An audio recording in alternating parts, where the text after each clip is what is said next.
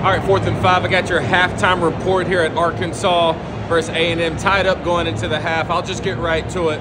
Up front, just horrible with protection for Taylen Green. Uh, specifically, I'm gonna point somebody out. Blackstock on the right side of the line of scrimmage.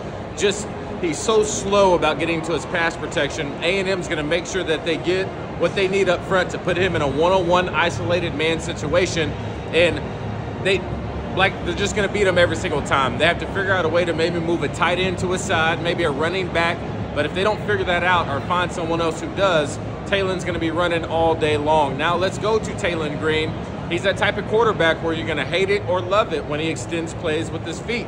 First play uh, or first drive of the game on that third down, that big shot to Isaac TeSlaa. The thing about that is when it comes to him continuing to do that, there's going to be times he's very inaccurate. He's going to throw behind receivers, which ended up leading to an interception. Should have been maybe two more interceptions. One should have went for a pick six.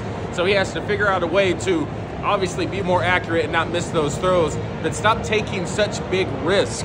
Um, and I hate to say it, the reason he's running and doing that is because he can't get any help up front.